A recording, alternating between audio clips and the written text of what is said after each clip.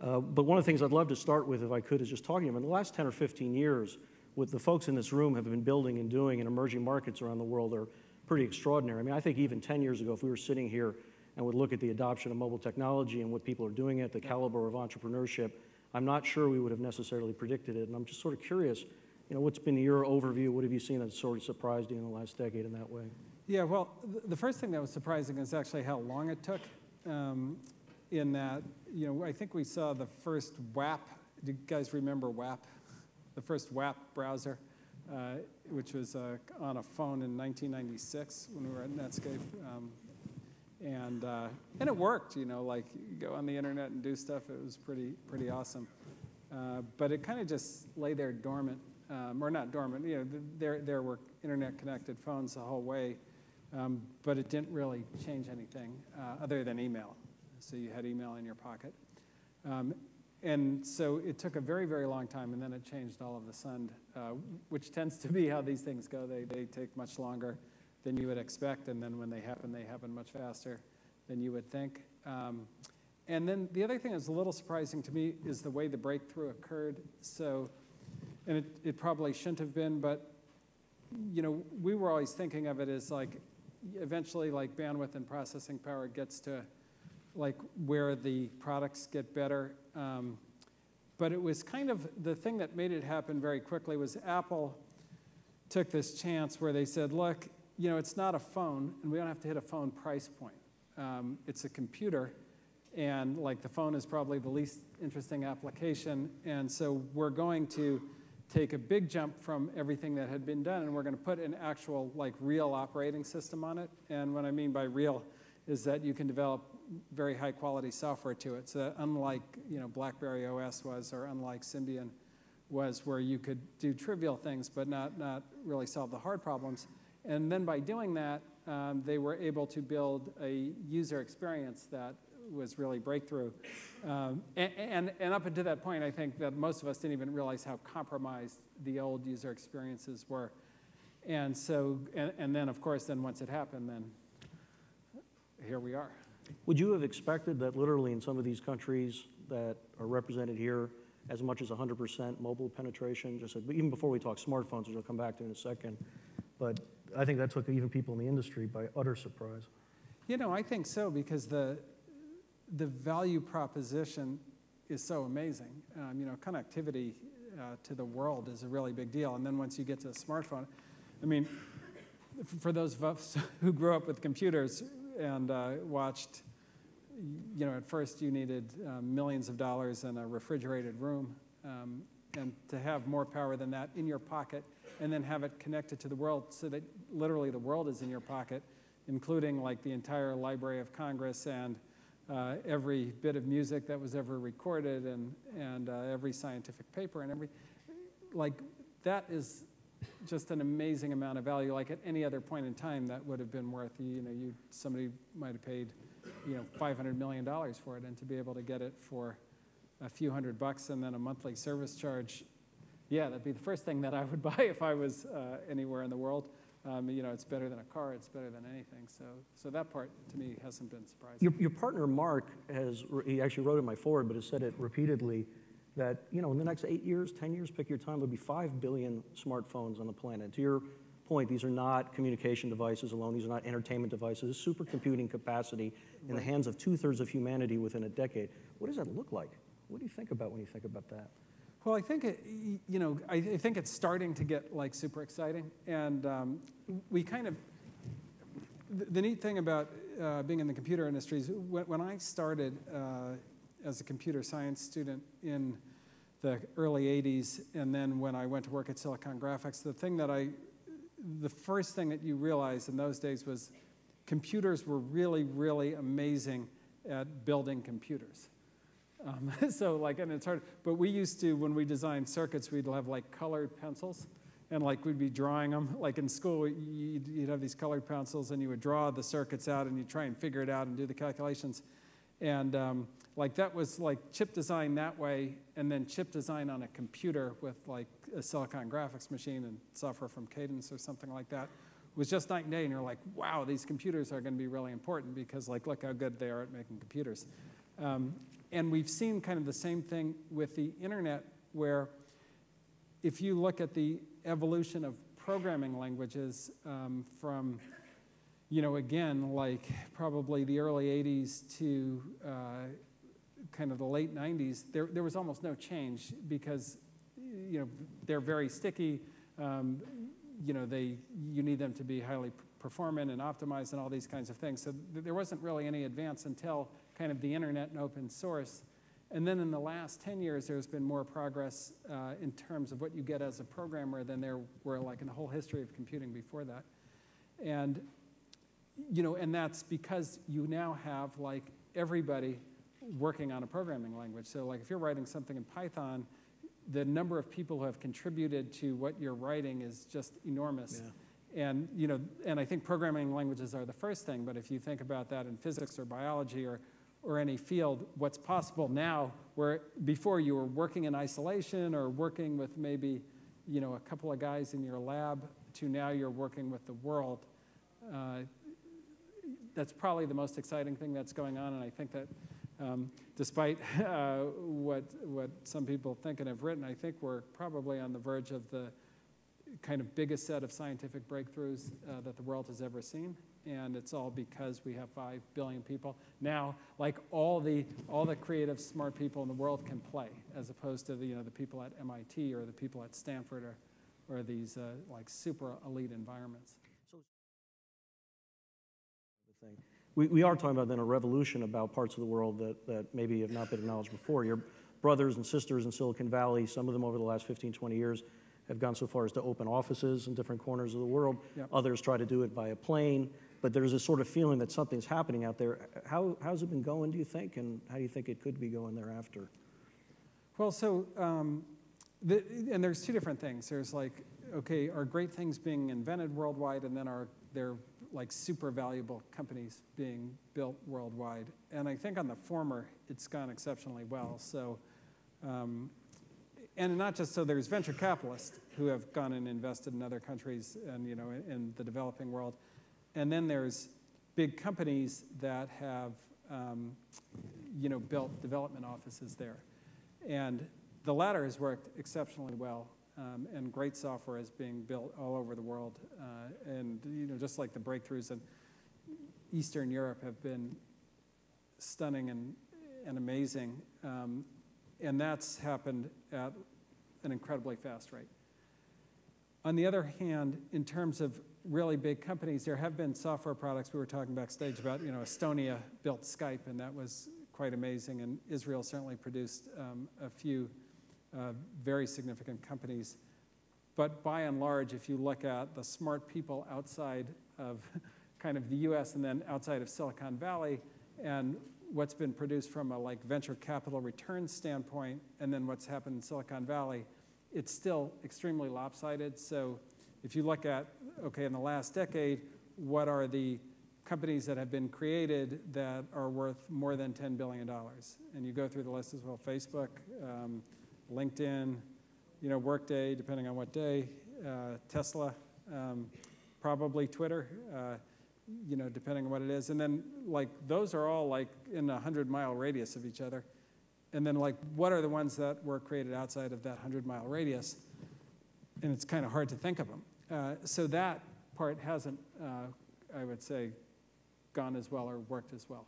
When you're a venture capitalist, particularly one of your capacity and caliber, that criteria seems to be quite wonderful and important from an investment theory perspective. It's a big world out there, and there are lots of ways to make money and lots of very interesting, innovative people. Is, is that the criteria by which to judge, one, economic opportunity, and secondly, ecosystem building? Well, I think that, um, and I'm speaking as a Silicon Valley venture capitalist. Uh, so for our business, right, like that's all the returns. The way the way venture capital works, it's an extreme power law curve, and like all the returns, like the bulk of the returns are in those companies. Um, so if you look at, you know, in any given year, the top 15 companies will return 90% of the market cap for that class of companies um, and you know of the thousands started and so like those are the ones that you have to be in if you're kind of a serious about venture capital now that's not to say that there's no return anywhere else and it's also, um, you know, when you're talking about those companies, you're talking about like the global winners. So who's going to build like the social network with a billion people on it is a different question than, you know, things that are valuable to society. My wife does a lot of work in um, India, and you know, one of the laws in India that there, there's a law, and I'm trying to remember exactly how it works, but basically there's like a, a right to work so that if you don't have a job, like there'll be funding for you to work for a few months um, and, and get paid at like some job doing something to help the infrastructure of the country. Um, but like people getting access just to do the paperwork to do those jobs is like a huge problem. And so a kid from MIT went back to India and built uh, a system so that like people could get to their right to work. Uh, and like that's an amazingly valuable thing to create. It's probably not a venture capital project, um, but there's a lot of things that are happening on that scale. And then I think there's also, you know, these are big countries. Alibaba in China, like they're going to go public. People think they're going to be worth $100 billion. So, and they don't really play outside of China. Um, but you know, if you if you are in a country with uh, more than a billion and a half people uh, and you win that country, like that's awfully significant. Um, and I think that there are a lot of opportunities like that that won't necessarily um, be the same as something like that you might find. Do you see Silicon Valley? So Linda has this wonderful term, E to E, emerging market to emerging market. And generally what she's saying is that a lot of the people in this room, when they become successful, are investing in the next generation, both within their countries and within the regions. And then you've got things like what you just described in Tencent and other stuff in China, Baidu, where Right. people within ecosystems, because they're so large, are building it. So does this mean Silicon Valley just says, well, go ahead, you guys do that, we're not going to play? Or how do you think about those opportunities that are being built from an investor perspective and particularly a Silicon Valley perspective? Yeah, you know, if, there are um, kind of really important market opportunities in emerging markets, I think it's pretty unlikely that uh, Silicon Valley company is going to be the one to, to find them. Or, or like that, that is a real playing field leveler in the sense that, um, you know, when we see companies like a, a huge, huge criteria for us investing is like, does the entrepreneur, does the entrepreneur know something that nobody else knows? Like, do they have some secret that makes what, you know, their idea much better than you might think? Um, and that's what leads to the really big outcomes. A good example of this is uh, my friend Drew Houston built this company, Dropbox. And at the time, uh, when he was originally raising money, there were like 30 guys who were doing the same thing. It's, oh, yes, storage in the cloud. It's a very obvious idea. Um, but the thing that he knew from, you know, one going to MIT and being a brilliant computer scientist and like messing around with it is to kind of like it was a very hard technical problem and getting all the synchronization right, the user interface right, and the cross-platform right, and all those things um, was an incredible challenge.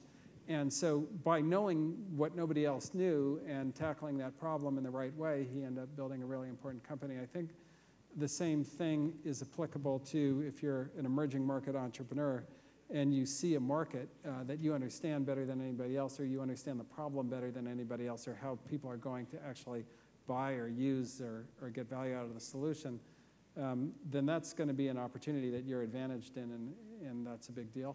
Um, but like going after, you know, going after uh, a market that like people in Silicon Valley are going after and understand and have like 100 times as much money as you and access to like all the best engineers in the world, like that's a more difficult proposition. So it's interesting because I've talked to, again, your sisters and brothers in, in a lot of this, and some of whom, you know, have open offices Yeah. all over the world. I think some of them say that they've gone better than some of them have gone. A few of them have put a couple of decent Yeah, pelts yeah, on the wall sure. and that kind of stuff. But what is so interesting to me is that when I pull on the string of this question, they'll say almost to a person the same thing over and over again. One, we got to go where market cap is going to be big. So we may lose our Yeah. ass in China for a decade, but we got to be in China. And or two, um, if we can outsource something cheaply, then we're really interested in that kind of stuff. And I say, okay, that's fine, and maybe that's what got you wherever you are, or you think you are now. But is that really the way to think about the opportunity of these markets in the next 10 or 15 years versus the way they've been thinking about it in the previous 15? Well, I, I think they, they end up being different venture capital firms that, that uh, succeed in those regions. I, I just think it's a different thing, right? Like if you're a Silicon Valley venture capital firm, like, you know, starting from the amount, the size of your fund, to the uh, kind of kinds of people that you hire, to what you know, um, you have a return profile that, and a kind of type of company that you're looking for that's extremely specific. And that's a different kind of company than you're going to find in other places. I mean, and like I think a lot of the guys who went into China found that out, even though China kind of looks similar. Um, turns out their kind of version of things is different, like you know the way the law works and all these kinds of things, which like matter. Um, there's no concept of guanxi in the uh, in, in, the U.S. and like you have to have a lot of that to succeed in business in China. Um, so like these things matter and you know differences matter and, and you have to understand them. You have to be an expert in them. You have to be best in the world at that. And so I think it's different venture capitalists would be my my uh, prediction. So the, will you, definitely continue to happen. You and Mark have said repeatedly the first l- rule of uh, Andreessen Horowitz is there are no rules. You started off and still remain highly, highly focused Silicon Valley, but now you've invested around the country for sure. What co- kinds of things could happen to make you say, we're going to have to think about the world differently as investors? Well, look, we're always, if somebody becomes an exception, um, you know, we're invested in Jumio, which is located in Austria, and we're invested in Capriza, which is engineering is based in Israel, and we, you know, we invested in Skype, of course, which had engineering in Estonia. Um, like if somebody goes and builds like the winning product and is starting to build the winning company and is like dominating, or, or like looks like they're they, you know they're just way ahead of the competition, like we'll invest in that in a second. Um, if we're looking for the next company from nothing, you, you know, and you could say, okay, look, we could have more market share in Silicon Valley, or we could go try and find elsewhere in the world um, where, like, we can do that. That's a little harder for us because the, the other thing that we try to do is be respectful of what we don't know. Um, and we understand like Silicon Valley culture extremely well. It is not the same culture. Like the Skype guys in Estonia did not think about the world uh, in the same way. Um, you know, just for example, like stock options were far less important to them, and they were more skeptical of them. Uh, you know, in part, and a lot of it is from the country history. Like, you know, what can you trust? And talking to the guys at Index, Danny Rimer and Mike Volpi, they're like, well, you know, we invest in beer drinking countries, but not wine drinking countries. and like, like these are the things you have to know to succeed globally. And like, we know enough to know that we don't know those things. Um, so we, we stick to our knitting a bit unless, you know, like somebody emerges. And then, and then of course, we would definitely fund it. Uh, but for the brand new idea, for those kinds of things, I think we're pretty far away from doing that. This is why I'm too much of a generalist because I'm happy to invest in both beer and wine. Yeah. I'm totally agnostic. Yes. Look, we- so the, you've talked and written beautifully about and very provocatively about ecosystem and the network effect of talent, which has very much been about Silicon Valley. Right. It, it, there is something that's going on, and I wonder what you're reacting about it, which is that a lot of the classic. First of all, I'd love just you to, you to give a quick overview. What do you think is the most important thing in an ecosystem? And secondly, thinking again about the future 10 years in technology as opposed to where we've been today, are there changes where that despite the ecosystem, where in some of the, some countries that you're not going to get the education system put up to a standard that you may look for in an ideal Silicon Valley way in the next 10 or 15 years, but now people are doing so many interesting things, educating themselves, using technology, you know, in, in, in a very interesting open source kind of way. Is, can you do this despite the ecosystem, or do you think that the ecosystem will look different as you think about it in the next 10 years? Well, it's really depending on like do what.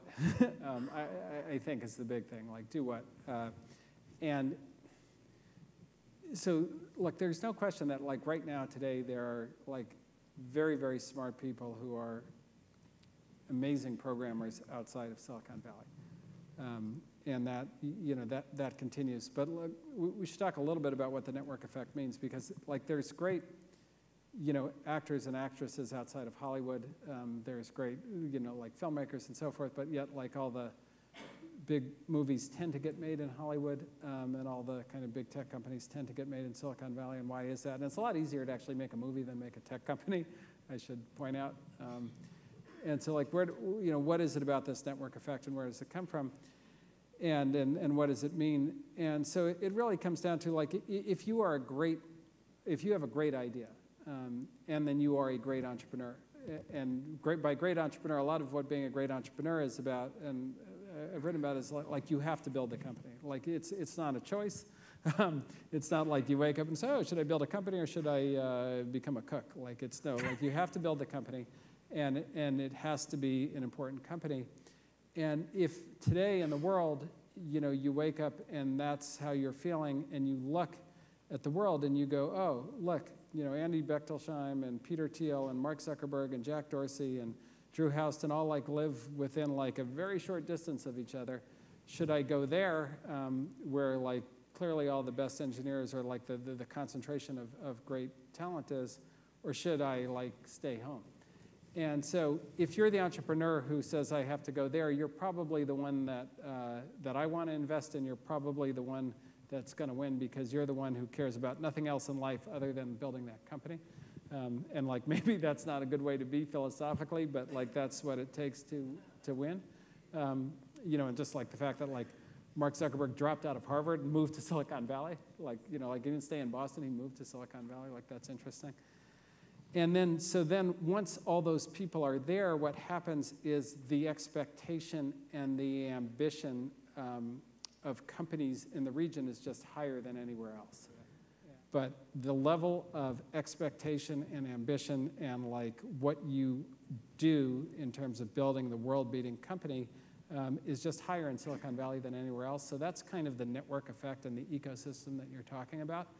And kind of replicating that somewhere else is a huge challenge because um, like the next great entrepreneur, the next great engineer is just so much more likely to go to Silicon Valley than anywhere else. Um, so if you're trying to build a company like that, that is hard to do outside it's been done, but like not at anywhere near the rate. Um, but if you're trying to solve like a very important problem in a specific country or set of countries that people aren't addressing or these kinds of things, um, you know, that's a more viable, you have more time, um, you have more knowledge.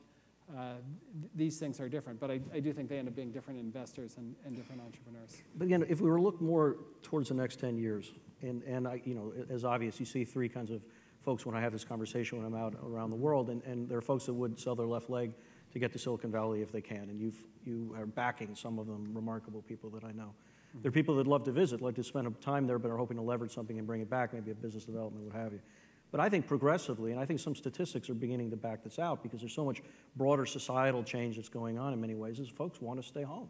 It's not just because they don't care about their business, they don't want it in their teeth, yeah. they don't want to win. Because I got to tell you, you're sitting in a room now of some of the most tenacious winners I've ever met anywhere at any time. Yeah. But there are lots of reasons to want to be home, some of which is I want to build an ecosystem there. Maybe let, us concede it may or may not be what Silicon Valley is today, but it could be very important and it could be very successful, and these are large markets, and I could make a lot of money, but I also could help build a great country. I mean, there are lots of other things mm-hmm. that are going on. And so, I, again, I want to push about in the next 10 years is there a dynamic that's chasing, that's important, that, that we can all concede that Silicon Valley will remain what it is, but is there something else that's going to be happening in multiple locations that should be thought about differently? And, by the way, facilitated by access to technology. Yeah, look, I hope so. I mean, you know, I hope that uh, the world would be a much better place if there were 10 or 100 Silicon Valleys. Um, like, that would be better um, than it all being like in one area. And there'd be a lot less like traffic and housing might not be so expensive too, and there'd be other good things about it. Um, and like maybe it breaks down over time, or maybe you know, uh, you know, I gave the Hollywood example before. Bollywood is actually with the changes in the uh, economics of movies. Like turns out people like to watch movies in India a lot more than they do in the U.S. now, um, and so Bollywood is kind of getting pretty serious as a, as a place to make them. Um, but you know, you know, look, look, a lot of us would like to stay home. I'd like to stay home, but, but, but a big distinguishing thing between the people who build, like, you know, Thomas Edison or Henry Ford or, um, you know, or, or, or Dave Packard or Mark Zuckerberg is that the company is the thing. Like, more than anything else is the thing. And those are the guys who, who seem to build the biggest companies. Um, those are the people who build the biggest companies. So, you know, I, am not convinced that that all of a sudden uh, changes. And, um, and so I think that it, it will still, I mean, like, it, it's not changed yet.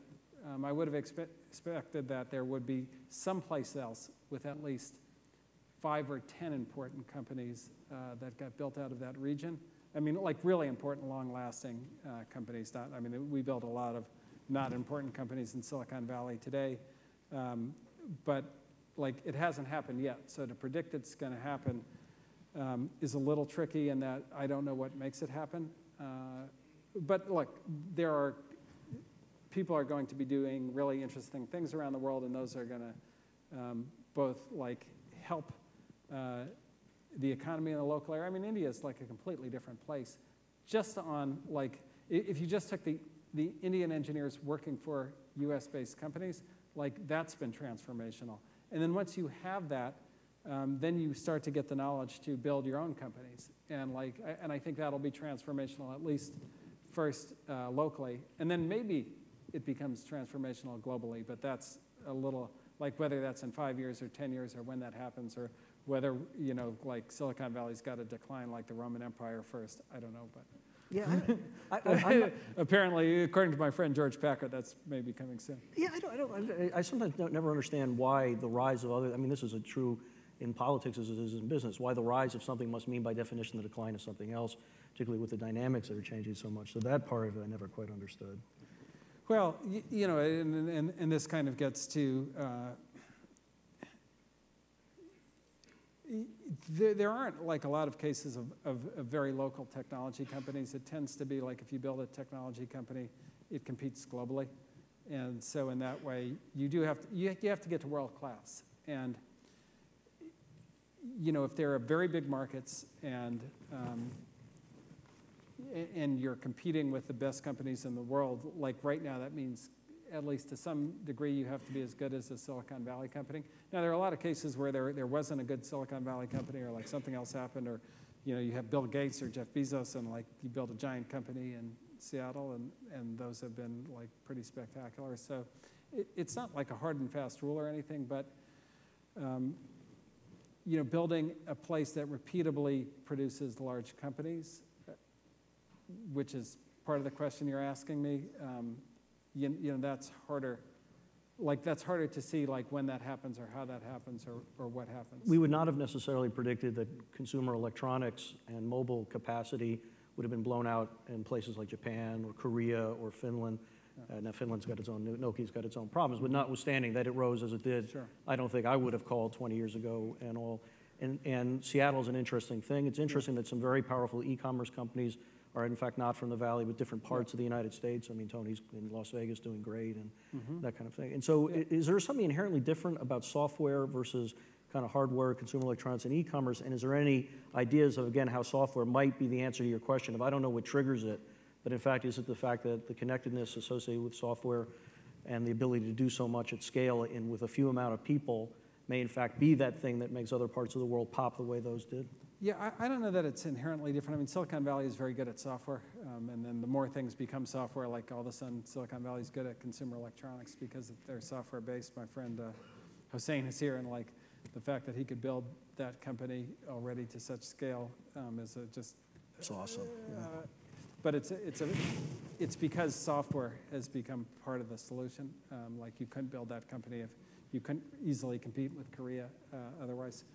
Um, but like I, I do think it is already. Ha- I mean, if you look at China, the big technology. I mean, you know, Huawei, ZTE, Tencent, Alibaba. Like these are pretty big and significant companies. Baidu. I mean, and they, they they're more contained uh, in China um, than than the U.S. companies have been, but like it's clearly possible. Uh, and I think that the advantage um, that they've had is, you know, selling in country. It's a very big country that's growing very fast, and so particularly in markets where, you know, your market and your country is changing extremely rapidly. Um, that it's hard to imagine like that a U.S. company figures that out and, and then decodes it and is able to, you know, figure out all the laws and the government structure and the consumer behavior and all that better than, than you could there. So I think those, those opportunities are real and well, well You-. Look, we run, we could, I could keep you for two hours, Ben. It's unbelievable spend some time with you, but we've run out of time. I'm just wondering, you've got this incredible group of entrepreneurs here across spectrums both technology and not technology who really are building ecosystems to whatever degree uh, within their countries and their regions. Is there some one sort of unobvious thing from your experience of being with so many entrepreneurs that's not rah-rah, but really sort of insightful you'd like to leave them with? I don't have any insights. It's just hard. That's my, my look. I, John Reed, who's like uh, an old crusty guy who used to run Citigroup, uh, told me when I was starting my company. He says, he goes, Ben, you know, and he ran Citigroup, so he was like very like uh, thoughtful about like economic opportunities and things like that. And he goes, Ben, the only reason to start a company is because you have an irrational desire to do so, because it's not worth the money. Um, and nothing truer had ever been said to me because you know, we built, uh, you know, that company that I was working on at the time, Opsware ended up selling, you know, I guess eight years later to Hewlett Packard for $1.6 billion, and I can tell you it was not worth the money. So um, hopefully you all have an irrational desire to build a company because that's the only reason to do it. It's great to spend time with you, man. Thank, Thank you. you.